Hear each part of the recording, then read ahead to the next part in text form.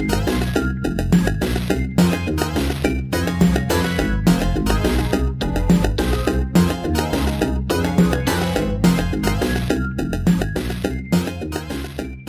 weiter geht's. Wir sind hier heute am Stand von Cosplay Flex.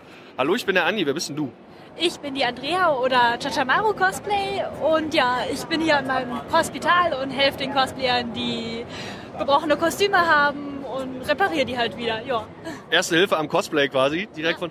Und ähm, du bist hier direkt an diesem Stand von Cosplay Flex. Was ist das denn? Äh, Cosplay Flex ist ein Thermoplast zum Rüstungsbau, äh, Waffenbau, alles Mögliche kann man damit eigentlich machen. Okay, das ist, ähm, wie funktioniert das denn? Beschreib uns das mal. Wir sind jetzt ein Audiopodcast, vielleicht kann, kann man beschreiben, was das ist. Ähm, also ein Thermoplast ist eine Platte, die durch Hitze, so 80, 90 Grad, weil es Plastik ist, also man braucht einen Heißluftföhn, aktiviert wird. Die wird dann biegsam und sobald sie wieder erkaltet, bleibt sie in der Form, in die man sie gebogen hat. Ihr seid jetzt hier auch ähm, ja, ähm, Supporter von der Con selbst. Also ihr tritt ja dann auch im Zusammenhang mit diesem Cosplay-Wettbewerb auf, die hier war. Äh, ist, ist, ist es richtig, dass ihr Marktführer seid in dem Bereich oder gibt es da auch noch viele andere? Wie läuft es? Also es gibt natürlich auch noch Konkurrenzprodukte wie immer. Also das ist ja meistens so. Ein reines äh, Monopol gibt es selten auf der Marktwirtschaft. Aber ähm, ja, wir sind halt äh, nicht wirklich so viel anders wie andere Produkte, aber wir haben unsere Vorteile. Wir sind immer etwas, also wir sind etwas günstiger als äh, der Konkurrenz sozusagen. Und ja, es ist halt so eine Sache, wer was lieber mag. Okay. Es ist so ein bisschen Unterschied und Geschmackssache vom Cosplayer, würde ich sagen.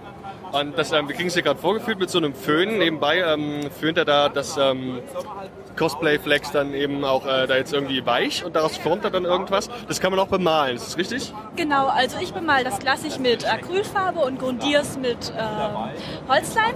Gibt aber auch die Möglichkeit, das Ganze mit Gesso, Buchbinderleim, äh, Spraypaint, also so ähm, Auto Spraypaint, wie nennt man das?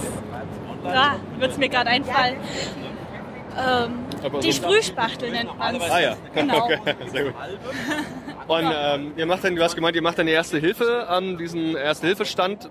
Wie genau heißt der nochmal und wa- was genau hast du zum Beispiel jetzt schon für Erste-Hilfe-Fälle gehabt? Also das Ganze nennt sich Hospital, der Hilfestand. Ähm, gestern hatten wir Attack on Titan Leute da, deren Gier gebrochen ist. Dann haben wir das Gier mit Heißkleber und mit Cosplayflex Pebbles repariert.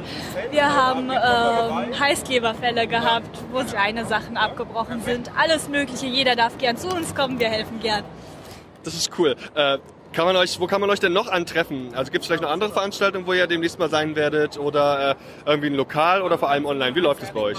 Also wir haben auch eine Online-Präsenz, das ist www.cosplayflex.de. Ähm, anzutreffen auf Cons ist, glaube ich, äh, als nächstes die Dokomi, die Roleplay Convention, Cost at Park als kleineres Treffen.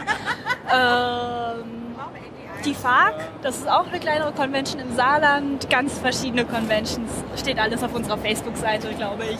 Die werden wir natürlich auch in den Show Notes verlinken, da könnt ihr dann einfach draufklicken und euch einen Eindruck machen von der, äh, vom Cosplay Flex. Und ähm, ich danke dir vielmals für deine Zeit. Sehr gerne. Und jetzt machen wir auf jeden Fall noch einen Schnappschuss von dem tollen Cosplay. Danke, ciao. Dankeschön.